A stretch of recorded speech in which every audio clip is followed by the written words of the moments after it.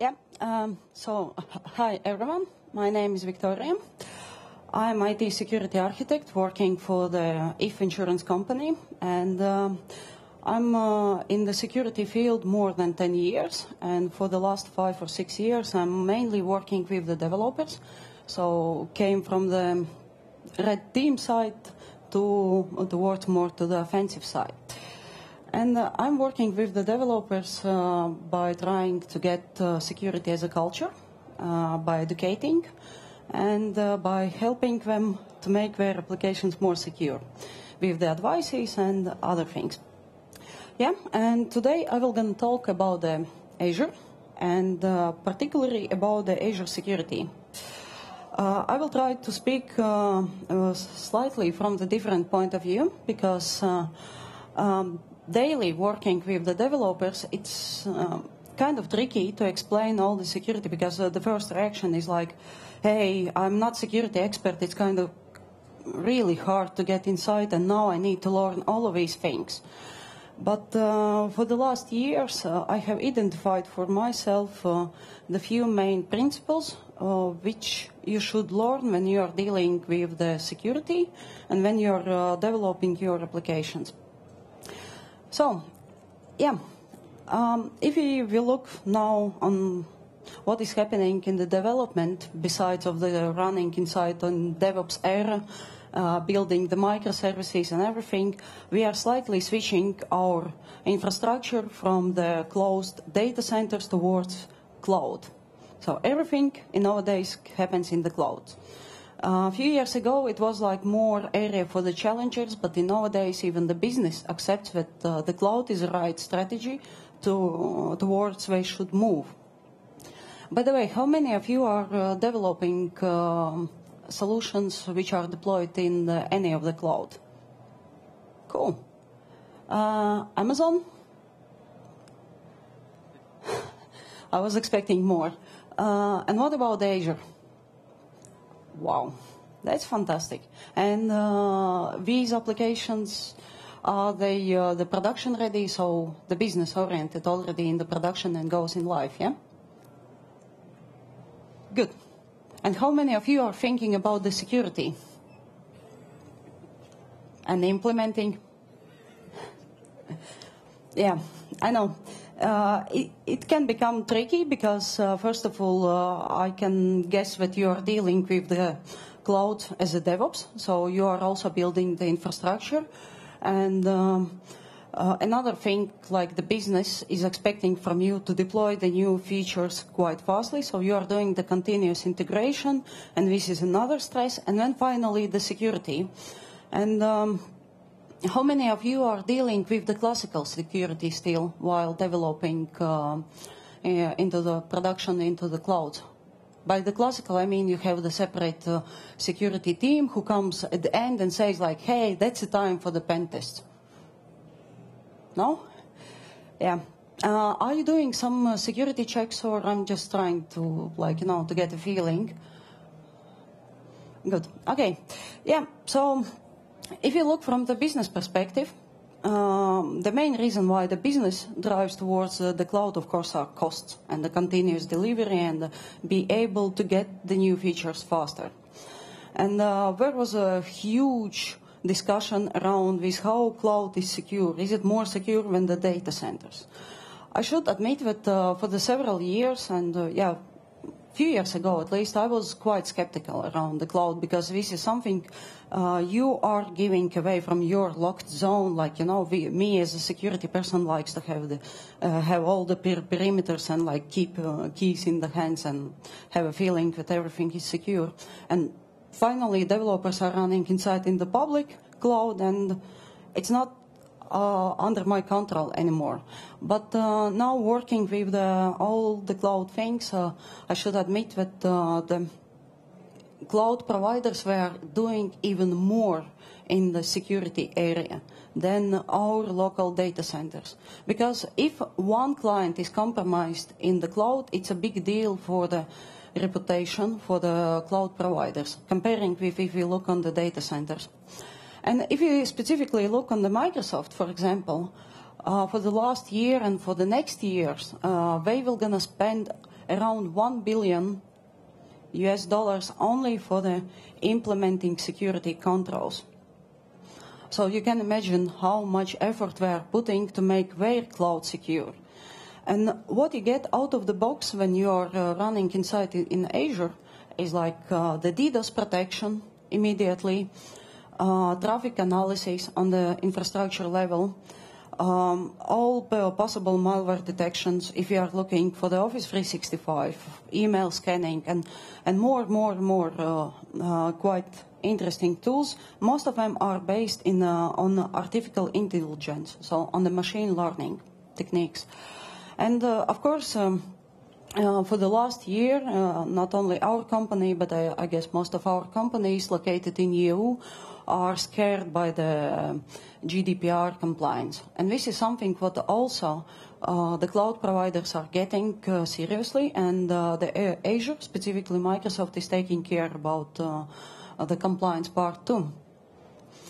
So um, basically, uh, this is a good link if you have some time just to, to look more uh, about the cloud security story from the Microsoft side. But uh, if we go to the practical side, uh, let's look what Azure security features uh, are available from uh, out of the box. So basically, uh, when you are creating your own subscription for the private needs or for the business needs, uh, out of the box you get some general security things like the Azure Security Center, which is amazing thing. I strongly suggest to look on that because this is your security checklist which shows the health status of all your deployed created resources. Resources, no matter is it like infrastructure as a service or the PaaS, they provide a really good security health state. And um, yeah, and uh, in each of area like uh, the storages and uh, the backups and uh, identity and access management, all uh, uh, all these areas were covering by the tools which you can configure in the Microsoft fancy style, like next, next, finish, by the few clicks. Yeah, uh, and the, the main question is how not to get lost when you are uh, uh, deploying your application in the cloud. And it's kind of the tricky question, and um, daily working with the developers, I came uh, to the conclusion that uh, actually uh, I could compare um, deployment of uh, application into the cloud with, uh, with the dancing. So basically, we can take the waltz as an example, where the Microsoft is your main partner who is leading the dance. And you are uh, just enjoying uh, with that partner dance by learning few main steps.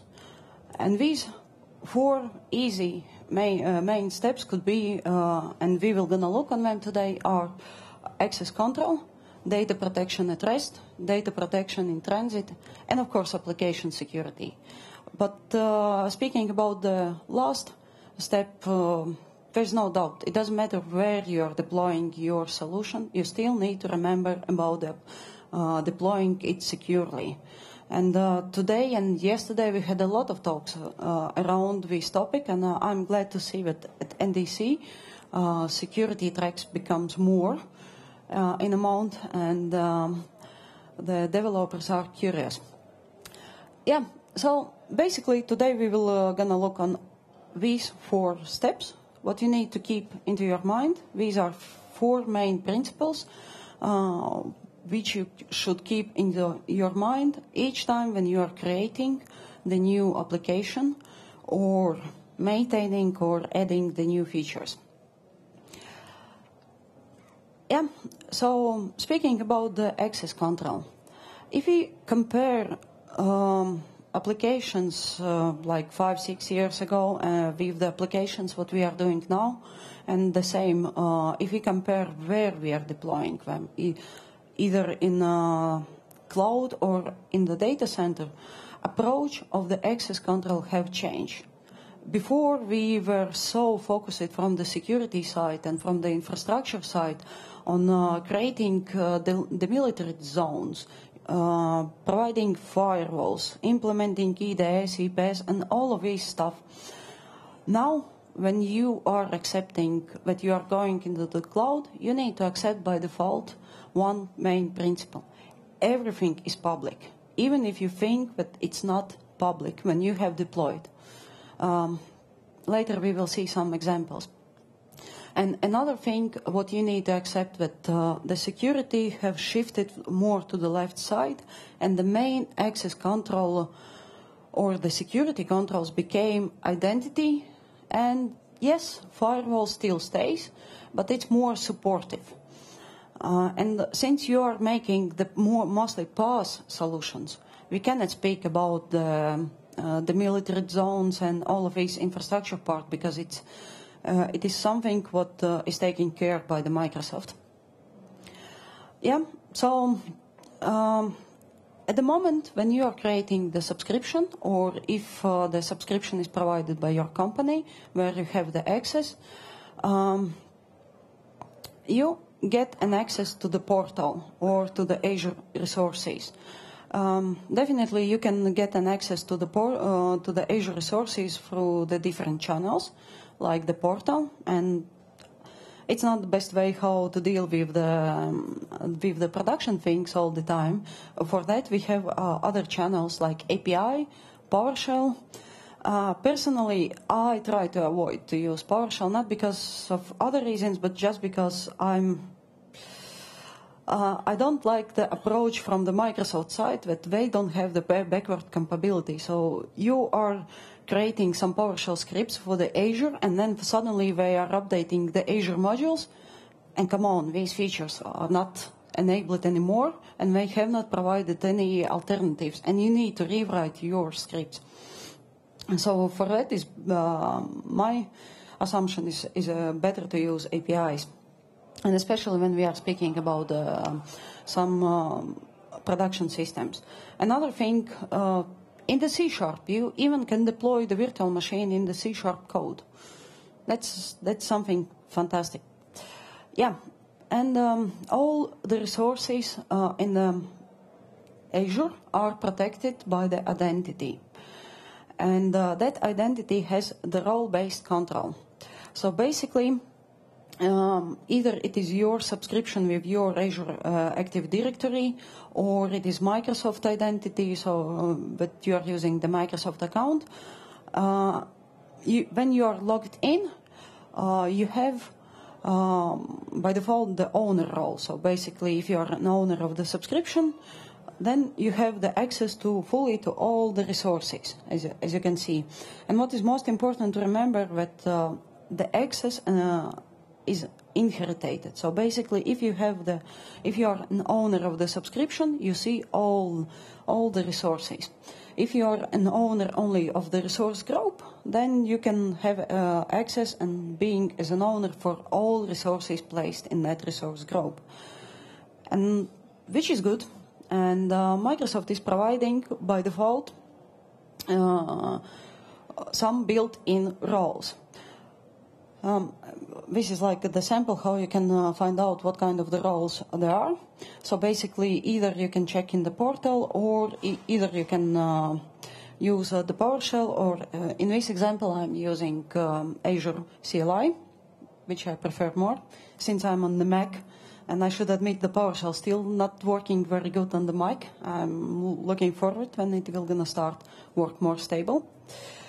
Um, yeah, so uh, built-in roles, um, they're different and um, I don't know what kind of the logic uh, is behind of that when the Microsoft chooses to implement the new built-in role, but uh, you need to follow up uh, and um, to check how many roles do we have because uh, the the amount of the built-in roles increasingly, in, I'm sorry, it's increasing all the time and uh, currently it's around the five, uh, 59 rows.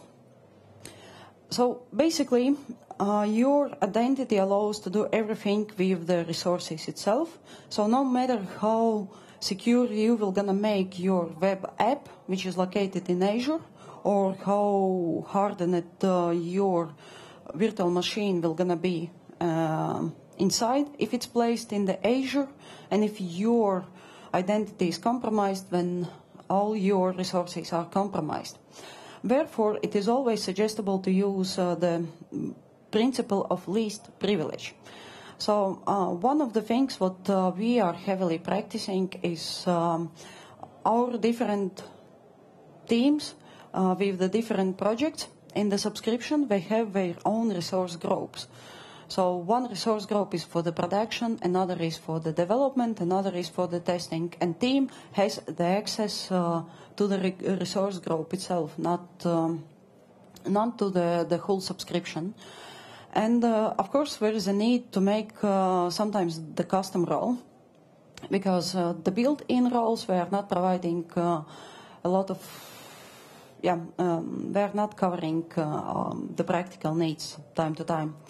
And I would like to, to look on the practical example how we can uh, make um, the role, uh, the custom role. So this is the interface of um, um, admin, which has an access fully to the uh, to all subscriptions, as you can see. And me as an admin, I have it, uh, at least uh, two networks, and one of them is uh, connected back to the office. And of course, I don't want, uh, for example, to give the full access to all of developers to that network.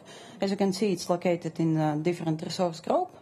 And this is like uh, the interface of the regular developer who has access to only one specific resource group, to the development. And um, yeah, that uh, developer wants to create uh, the virtual machine which should be connected back on the premises.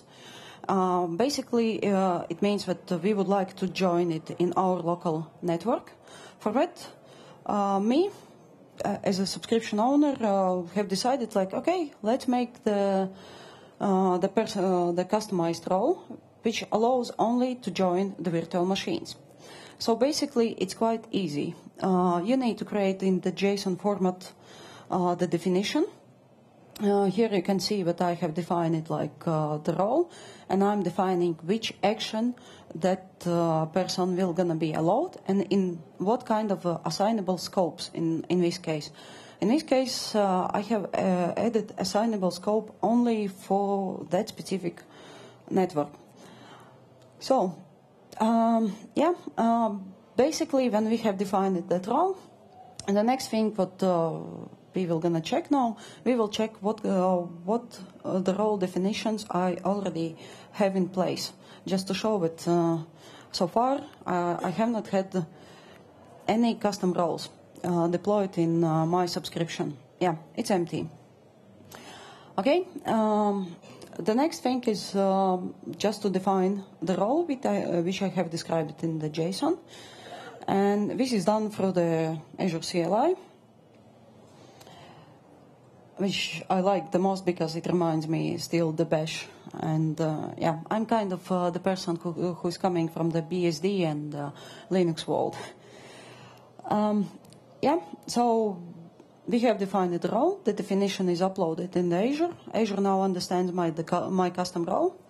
And next, uh, next step, I want to assign this role to the, my developer. And it's done pretty easy with the, uh, with the assignment command where we are defining uh, that we will gonna create a new assignment for the developer. We are uh, making identification of the developer, so adding the name and also, we are saying what kind of the role uh, should be applied and uh, the scope, because in our role definition we could uh, identify several scopes. And here, when we are doing the assignment, we are specifically saying that, uh, we are giving that role for the network, um, for that local network. So yeah, this is done. Um, that's cool now we can uh, we can see that uh, the roles are created. Uh, um, in the app you can see the built-in, but this this one is specifically that where you can find that the developer now has an access to them to be able to see the local networks and uh, to be able like uh, to operate and join the virtual machines. Yeah. Um, what is interesting, if you will go back to the portal, refresh it, the developer now has the full access, uh, not the full access, but the read only and the join access. But uh, yeah, and the, the, developer will gonna see the subnets, which is um, I think we, uh, pretty mandatory, just not like to understand how many others are deployed. But um, what is most interesting, if you will look on access control in the portal, you will not gonna find these custom roles. So they are visible uh, currently only through the PowerShell uh, or in the command line. It's not implemented yet in the uh, in the portal. Um, the way how Microsoft is implementing the new features, which this is not the new one, but uh, if you are speaking about the priorities, are that the first new feature comes up in API, when it uh, you will gonna find it later in the PowerShell, and then maybe in the portal.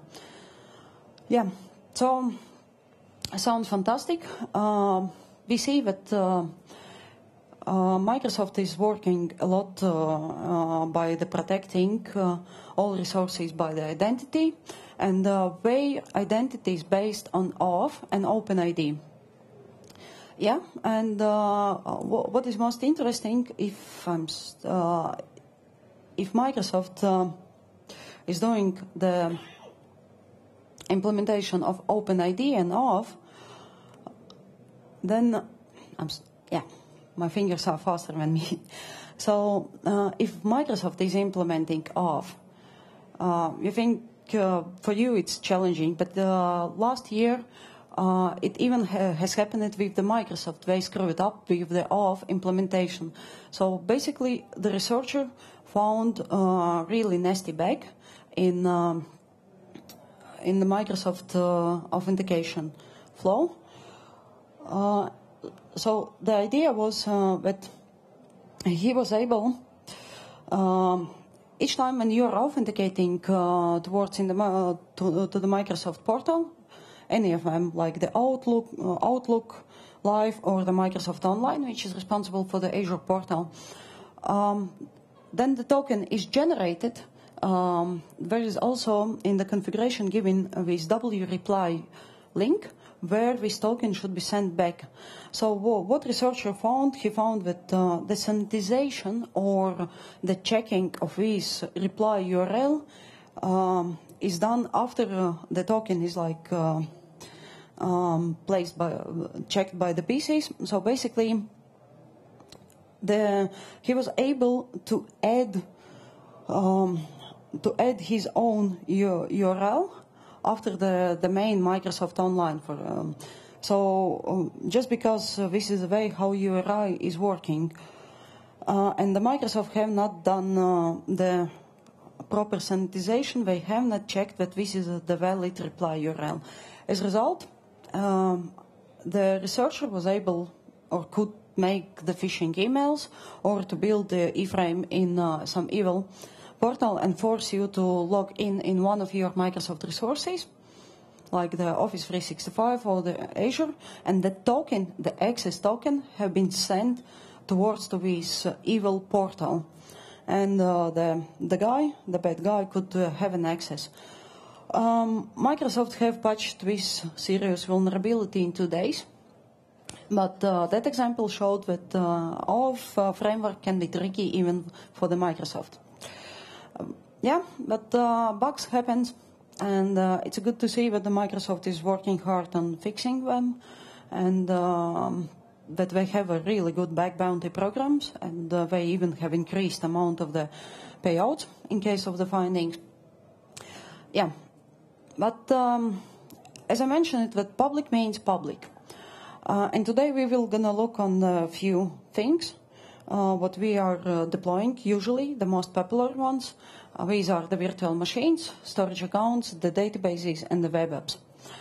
And from the authentication perspective, if you look on the virtual machines, uh, it depends what you can have. You can have the username or the password or SSH keys if you are deploying the Linux machines.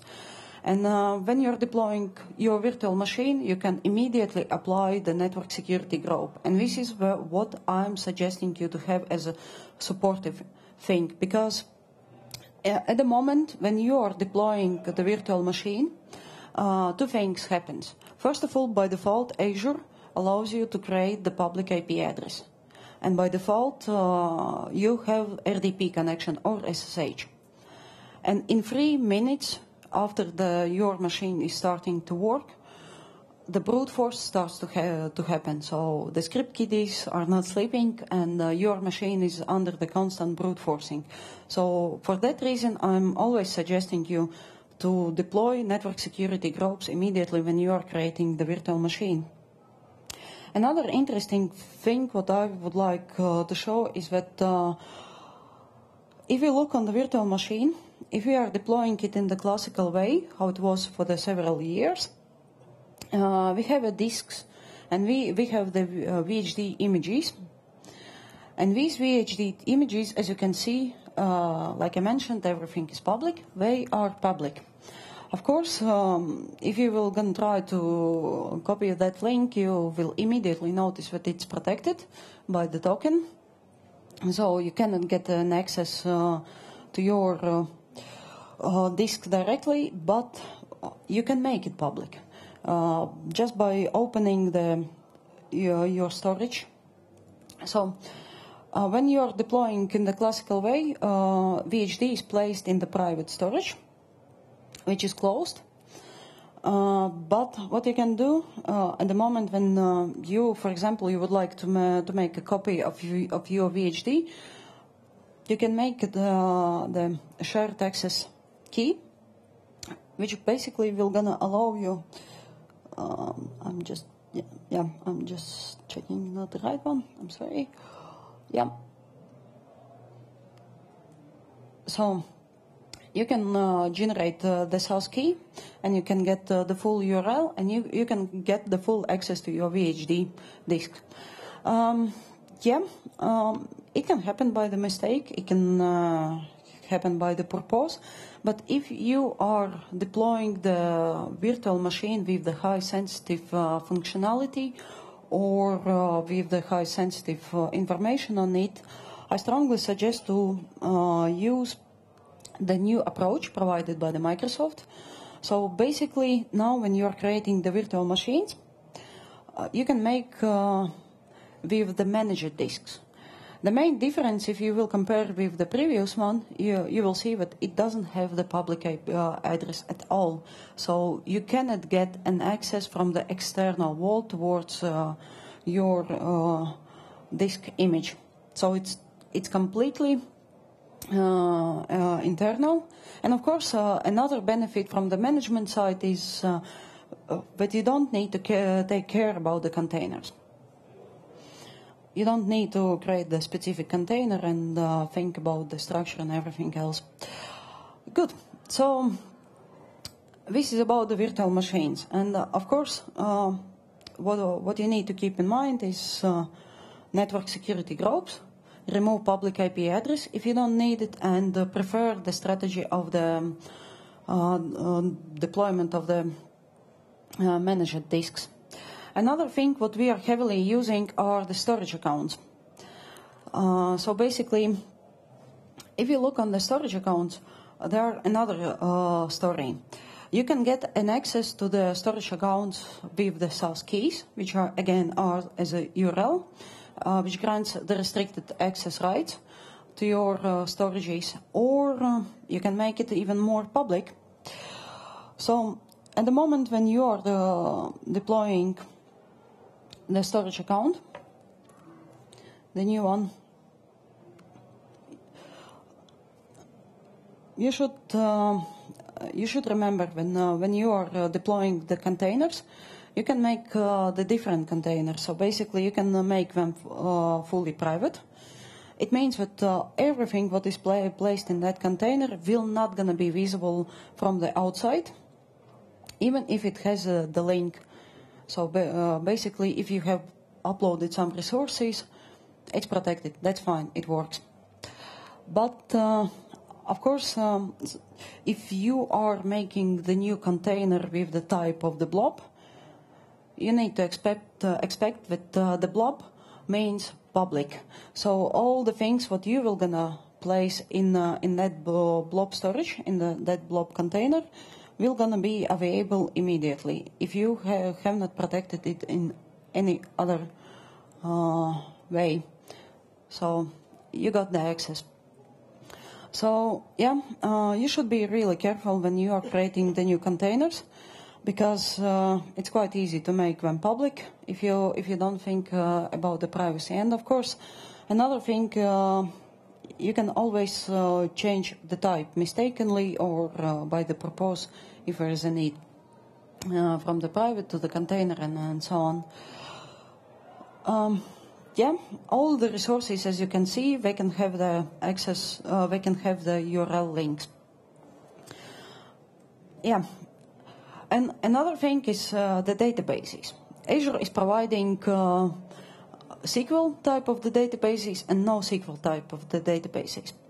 Uh, when we are speaking about the SQL type of the databases, we have the Azure SQL uh, as a service, which is a really good thing because when you are creating the new SQL database, uh, comparing with the on-premises thing, you don't need to think about the infrastructure part. And uh, another moment uh, when you are creating the new uh, Azure SQL Server. Let me see. Da, da, da. I got it. So basically, when you're creating the new SQL Server, uh, it has the firewall enabled by default on, so you don't have an access to the Azure SQL resources to, um, while unless you have not ena- enabled or added your IP addresses. But there is one small but. Um, these rules are applied on the server level.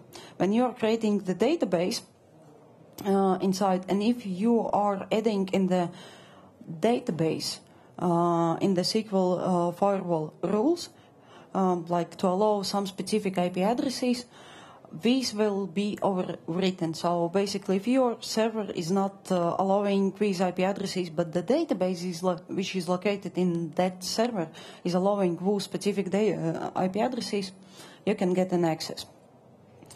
So uh, yeah, and um, the access control. Um, if you look on the access control, the good thing, uh, what Azure also is providing, is able to integrate with your Azure Active Directory. So you can uh, set up the Azure admin, uh, SQL admin, simply by the enabling uh, the uh, the role. So you are giving uh, one of your users from the tenants access to the um, to the SQL server. One interesting thing with this, well, what comes when you are enabling admin role, uh, Azure SQL immediately starts to understand uh, all the Azure AD accounts. So, so basically, on the database level, you are uh, able in the in the SQL uh, syntax to provide like the external provider and um, use your AAD accounts. But the trick is, if I will gonna remove this admin account, that uh, functionality will disappear also. It's something strange what I cannot understand from the Microsoft side, but uh, yeah. Uh, this is about the SQL things, and um, if you if you look uh, on um, NoSQL things, uh, recently Microsoft have announced fantastic NoSQL um, database, which is called the Cosmos DB. It's so ambitious name, but um, when I was looking on the Cosmos DB, I got the feeling that, uh, and uh, it, that time uh, it, it, just proved the point that uh, again the all these features are devel- developed by the different teams, and time to time maybe they even don't coordinate coordinate uh, what we are developing because when you are creating in the Cosmos DB some resources, you also are, are able to protect them by the firewall. But the concept comparing with Azure SQL is uh, opposite. By default, Cosmos DB is open, so basically it's not protected by the firewall. Azure SQL is protected by the firewall, and I like that approach from the security perspective more. Yeah, and um, again, you can enable uh, the firewall, you can apply the settings, and uh, comparing with the Azure SQL, we also have an access, um, it uh, separately for the portal. So basically, you can uh, allow access to the resource, but uh, not to the portal where you're uh, like playing around and uh, working with the Cosmos DB. And um, yeah, the fancy, uh, the fancy thing what the Microsoft have added is immediately detecting your IP, and you can just add your IP from the portal. So you, you don't need to go and like search what is your IP of the corporation and so on by adding. And uh, when we are speaking about the NoSQL, of course, uh, we are thinking that um, the authentication part is protected by the SAS, by the keys. And um, yeah, Cosmos is providing um, the keys, which are the access keys, which uh, basically contains the two groups, like the read-write and the read-only. Uh, and uh, again, so again, as you can see, it's all about the authentication and the firewall as a supporting layer. Yeah, and uh, the next one, we are deploying the web apps. When we are deploying uh, the apps services, I'm still calling them as a web apps, but uh, the Microsoft calls them uh, as app services. Naming, naming. So basically, at the moment when you are deploying your uh, application service, the web app, it immediately becomes public because uh, uh, it will gonna have the Microsoft uh, address. Uh, you will be able to get an access through the portal or through the any browser.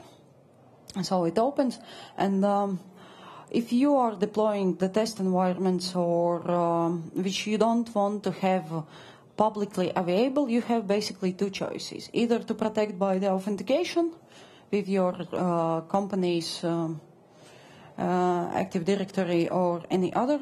Either uh, you can deploy your web applications in um, uh, in ASE environment, which was uh, the standing was application service environment. Yeah. So basically, idea is that uh, in the Azure you are creating the separate uh, service environment and uh, your applications are fully private and no external access.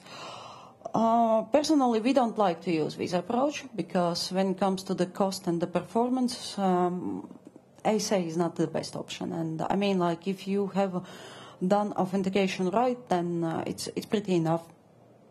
So um, I will not uh, go deeply in the authentication part. I will just briefly uh, mention that uh, integration with the Azure Active Directory can be done simply in three steps by applying ADAL library, registering your application in Azure AD, and adding a few lines of the code. And uh, I think uh, we had uh, really good talks from the, at least uh, for these two days, I, I, heard really good talks, free talks around how authentication should be done correctly.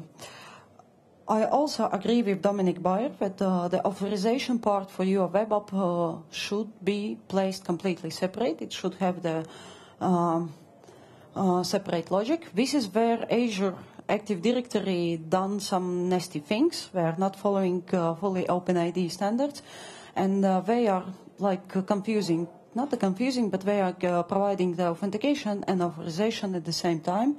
So what it means?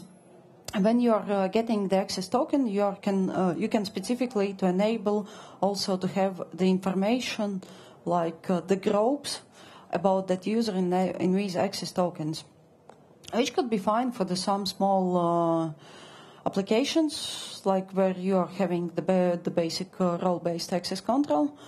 But uh, this approach has some limitations. First of all, in these uh, in this access token, if it's off an OpenID, then uh, the Microsoft gives uh, up to 200 groups.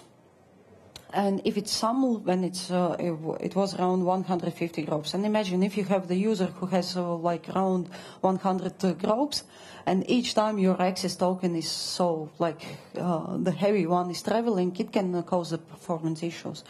So for that, um, usually I am advising to use uh, the Graph API, and uh, if you need to have the additional information about the uh, about the user, then uh, just grab it through the Graph API. Yeah, and uh, if you if you look uh, on the web apps, of course, when we are deploying, uh, we have a lot of the connection strings. Uh, like access to the databases, uh, uh, access to another resources, like the storages, and then so on, so on. The main principle, what you should remember is that uh, we need to keep out the passwords and the connection strings out of the source code. And I think uh, in uh, in a few talks already it have been mentioned that it's a quite good hobby to browse GitHub for the machine keys and like you know to browse the web.config for the passwords and the connection strings. and even in the uh, in the company, in the, on, on enterprise level, it's not a good approach. Uh, if you uh, are using the TFS or uh, other shared uh, the code repository, you could find out the, the always connection strings for the production systems in the code. Um, yeah, uh, if we are deploying uh, on the premises, uh, we used to use the environment variables or, or user level config options, and this is a good approach.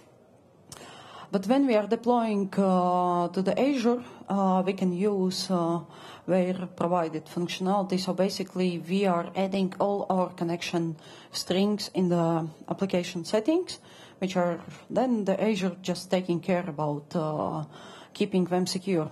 It worked fine when you don't have a slot, when you can uh, get a bit in a mess. Yeah, still not perfect, but um, in that sense, um, uh, either if you have a, when you have a slot or uh, e either uh, when you need to share your connection strings with other projects. Uh, another good approach is to use Azure Key Vault. So basically, you can place uh, all your connection strings, passwords, and even the certificates uh, in the Key Vault. And the grant, and when you are just granting the access in the same style like with any other Azure resources. Uh, through the portal, you can uh, add the role-based access control, again, like um, that the consumer can have uh, either the read-only access or uh, the full access to the wallet. That approach works very well, and, especially when you need uh, to centralize uh, the storage and like to have a shared um, secrets. Yeah, and um, this is so basically, if we if we look on um, on uh, public means public, uh, we touched uh, four main things. What uh, the the most used things what uh, are deployed in the Azure, and uh, it's all about the authentication. And the firewall is more mostly like support with the supportive functionality. So when you are limiting. Um, the next, the second principle what you need to remember when you are creating your solution is how to make it secure at rest. So data at rest. Um, yeah, when it comes to the Azure cloud, and so the solution is pretty simple in that terms that the Microsoft uh, has taken uh, the main pain of uh, choosing the encryption algorithms, implementing the encryption things uh, for you. So if if we look uh, again back uh, on our databases, for example, SQL databases, when you are deploying the database, basically you you're having encryption by default available. Um, all what you need is just like, you know, to enable, again, the Microsoft approach, like next, next, finish. So basically, uh, you're enabling encryption on your database, and your data is transparently, uh, transparently encrypted. And that's all. You don't need to take care about the rotation of the keys and choosing of uh, the, like, uh, which encryption algorithm is appropriate and, and, and so on and so on. And the same approach is with the storage accounts. So basically, unfortunately, if we are speaking about the storage, uh, uh, the encryption is supported only for the blobs, uh, and then, then, yeah, and for the files. So it's again, it's uh, it's all about uh, enabling the encryption with the with the few clicks for the containers. And uh, when we are speaking about the, uh, I haven't updated uh, the slide because it's really a quite new one. uh, when we are speaking about the Cosmos DB, you don't need to take care about the encryption at all because this is something what they have enabled by default. You don't have any other options. It is enabled, it's done, and yeah, so uh, all your data is encrypted. The most trickiest part is uh, to implement uh, the encryption for the virtual machines because uh, um, it's not anymore like uh, with the few clicks because you need to take care. Um, if you are speaking about the encryption of VHD, uh, you need to take care about the keys rotation. So you need to have the the key vault uh, and you need to have the separate wallet and the access uh, from the, that virtual machine uh, to that key vault, so it could rotate the keys for the encryption. But yeah, so as you can see, data encryption is one of the priorities from the Microsoft side, and they have done a lot of work in that area. And uh, it's uh, it's just about the principle what you need to remember and to enable when you are coming to the cloud. Uh, data in transit, it's even even even easier because Microsoft states that all of the, their connections are encrypted by default. Uh, so they are using SSL TLS, which is uh, encryption is based on RSA uh, 2048. And plus, we're using the perfect forward uh, uh, secrecy, which means that one specific key for the encryption is uh, unique for the each uh, connection. So um, you don't need to, to, to think about like, uh, uh, okay, am I connecting securely to APIs? Yes, you do, because this is through the uh, HTTPS. And uh, by APIs, I mean the Azure APIs, not your custom de developed. you don't need to think about the, how secure the RDP connection is it's secure, Azure SQL connection is also. All you need to think is if you have the access back on the premises, it depends how it's built. If it's VPN, then it's encrypted also because uh, with VPN comes encryption in the place. If your company has the ExpressRoute connected to the Azure, then you need to keep in mind that ExpressRoute is like the separate bus line but it's not about the security. It's just about providing you the stable uh, speed on the connection towards the Azure. So if you are making uh, the hybrid connections, like uh, you have the APIs deployed on the premises, which will to be used in the Azure, you need to take care about uh, implementing HTTPS. And the same approach comes to the when you are deploying your own APIs and your own web apps in the Azure, you need to take care about uh, implementing HTTPS. If it's a company-wise then of course you are buying an uh, officially signed certificate. If it's your private blog or your private project, you can use Let's Encrypt for the connection. So yeah, uh, this is the third principle, what you need to remember. And uh, the last one was about the application security. And I should admit that uh, the most trickiest ones uh, from the, my experience while working with the developers are the uh, access control. This is where we are dealing a lot, and spe specifically with the authentication authorization part and the application security itself. It's all about uh, how to educate, uh, to train, to um, program uh, with the keeping in mind the security from the day first when you're starting to write the first line of the code. Yeah, um, some of the interesting recent cases. Uh, Mikko Hyppönen, which is uh, the Finnish uh, security guy from the F-Secure, recently have tweeted like uh, that Microsoft doesn't seem to block Google search from the indexing files in Azure Blob Storages. Back uh, to the moment where I explained to you what everything what you are putting in your blob storage, if it's public, it's public. And additionally, it's indexed by the Google. So the thing is, uh, if you are placing something uh, in the blob storage or any other place, and you are assuming that you have this fancy unique URL, uh, it's secure. It's not. It can be indexed, and later to, um, can be found by the uh, by the some enthusiasts like like Mikko. But uh, I should admit uh, I have done some analysis. Most of the documents uh, which he marked as confidential were they were not confidential, so they were published with the purpose. Basically, they should be the public. Most of them are uh, like you know. Uh, application forms and uh, templates and such things. But this is a good reminder but uh, if you don't want to have uh, that information public, either protected by the authentication, either uh, try to use uh, uh, other methods. Um, another case, I should apologize for non-Norwegians because this is uh, something what has been published at 16 May in one of the Norwegian portals.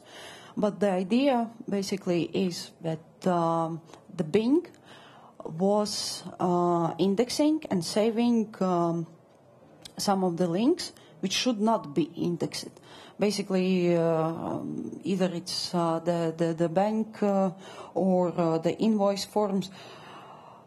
Uh, and the Bing search were providing them. Um, it's not confirmed. Microsoft have not came up with the, any official statement, but the assumption is but if you have the Windows 10 machine, and uh, if you are opening some of your links in Edge, uh, they are sent towards to the Bing for the uh, better uh, search performance, I guess. Uh, Microsoft believes that uh, if they are saving some of the links, that's they will be better in the in the search engine by like you know by showing um, yeah, uh, this case actually shows two points. First of all, read the uh, agreement uh, of the software that you're installing. By this I mean like read agreement of the Windows 10.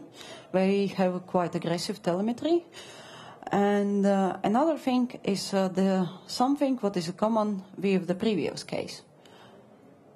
Uh, if something comes on your mind, what what is common in the both cases?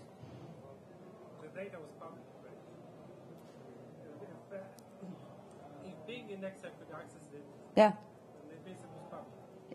Yeah, but it, was not supposed to be public. I mean, like uh, when you are receiving, for uh, example, uh, some of the uh, links from your the bank or the insurance company with your invoice, and the link is so huge, uh, we assume that oh, okay, this is a, kind of the private link.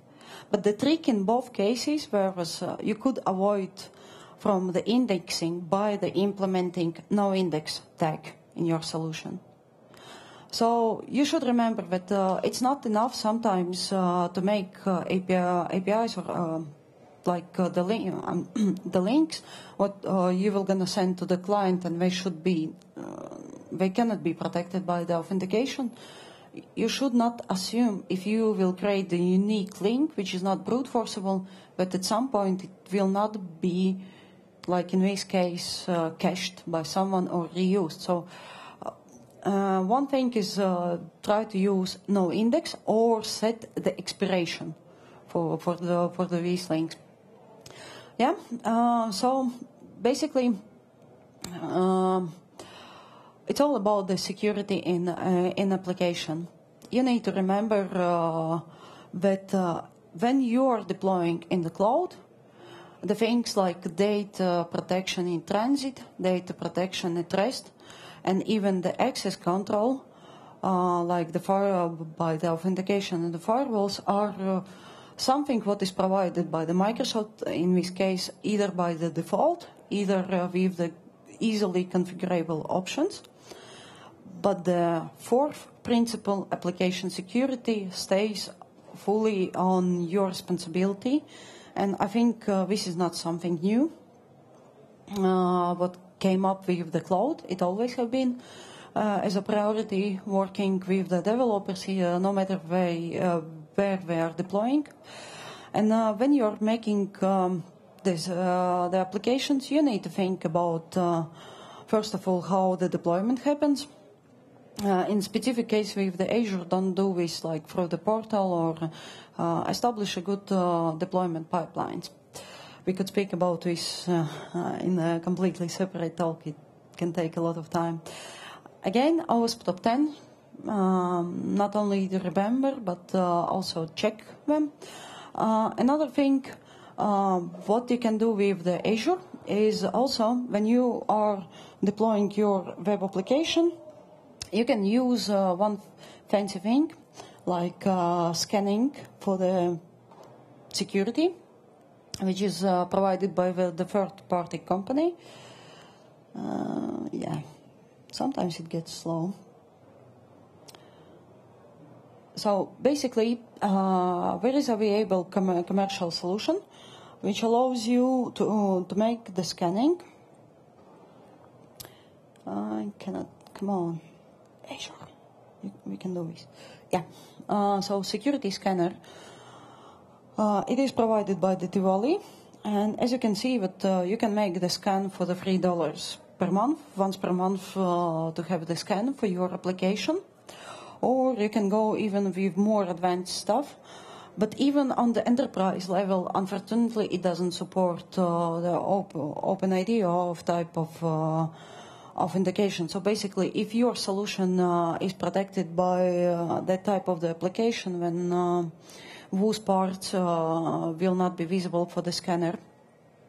But still, uh, if you have kind of the public uh, website, you can enable it easily and just scan it. My application was, um, when I was running the test, it was protected by the Azure AD, so the re report is kind of empty. But uh, yeah, um, you can make the setting, uh, like the scanning settings, you can sh schedule the timings and then so on. This is one thing, what you can use from the Azure.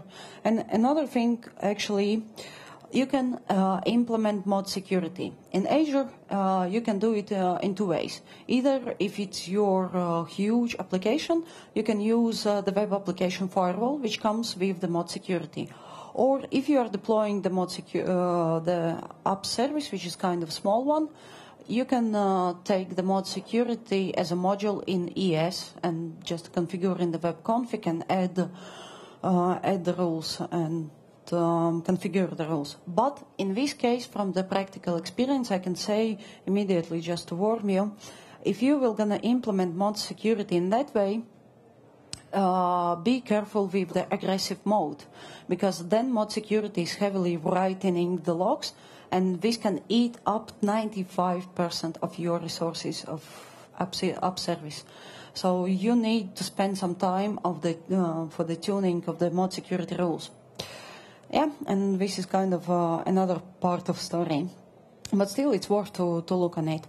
And of course, um, securing HTTP, uh, HTTP headers like uh, HSTS, when we are forcing HTTPS, uh, uh, secure, uh, implementing the content security policy and other, other things. Yeah, so it sounds like a lot of things what you need to keep into your mind. But um, you can have your own checklist, which I mentioned at the beginning, and this is uh, the security center. The screenshots are from the some of the uh, the real subscriptions. Yeah, the health is like, uh, yeah, we need to improve it. But um, basically, uh, the security center allows you to define the policies um, which are looking if it comes to the compute, so the virtual machines, you can check the state, uh, how public your virtual machine is, uh, the all updates are enabled, and, and so on and so on. And the same is with the networking and with the storages. And with the few simple clicks, you can enable from the security center uh, some activities like uh, if you are not satisfied. So basically, if you look on um, on the security center in life, uh, it con uh, constantly monitors and tracks your uh, health. And uh, as you can see, that uh, if you if you see some bad things like okay, uh, seems I have not enabled the encryption for the one of the storages. Um, you can do it from the security center Im immediately, like by the by the one click going and it's like it's done. Yeah. Um, so making uh, some recap uh, of like uh, I was trying to scrape the surface of the security in the Azure. Uh, you need to remember four principles. access control, data protection trust, data protection in transit, and application security. And uh, the most important thing, you have the really good checklist. It's Security Center, and uh, I advise you to use it. All it what it requires is uh, uh, to have one separate storage account uh, on which it stores all the data about the health. Yeah, I guess I'm just in time to be polite. Thank you. And if you have any questions, I'm around for these days and you can come up and we can uh, have a talk. Thanks.